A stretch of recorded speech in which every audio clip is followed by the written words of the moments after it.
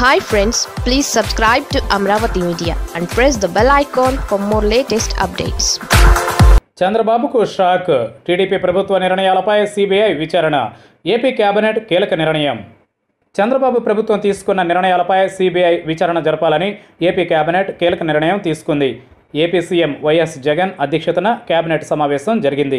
గత ప్రభుత్వ హయాంలో అవకతవకలపై కేబినెట్ సబ్ కమిటీ నివేదికను సీఎం జగన్కు అందించారు. ఫైబర్ నెట్ రంజాన్ తోఫా చంద్రన కానుకలపై సీబీఐ విచారణ కోరాలని ఏపీ కేబినెట్ నిర్ణయించింది. భోగాపురం ఎయిర్పోర్ట్ రామాయపట్నం పోర్టు నిర్మాణాలకు కూడా గ్రీన్ సిగ్నల్ ఇచ్చింది కేబినెట్ రామాయపట్నం పోర్టుకు కేంద్రం నిధులపై కేబినెట్లో చర్చించారు.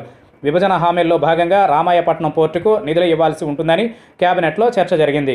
కేంద్రం నుండి ఈ పోర్టు నిర్మాణానికి నిధుల కోసం ప్రయత్నాలు చేస్తూనే ప్రాజెక్టుపై ముందుకు వెళ్ళాలని నిర్ణయం తీసుకున్నారు. ఐదు దశల్లో ప్రాజెక్టు నిర్మాణాన్ని చేపట్టనున్నారు. ఆగస్టు నాటికి టెండర్లు పిలవాలని సీఎం జగన్ అధికారులకు సూచించారు.